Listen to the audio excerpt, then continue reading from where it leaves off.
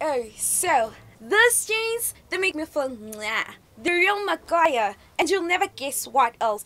This TV is all mine. Bought for me by my only Minister of Finance. I choose to build my own wealth with my own hands. I can just stay in and watch movies on my Blu-ray, or if I get bored, I can go surf the night on my tablet.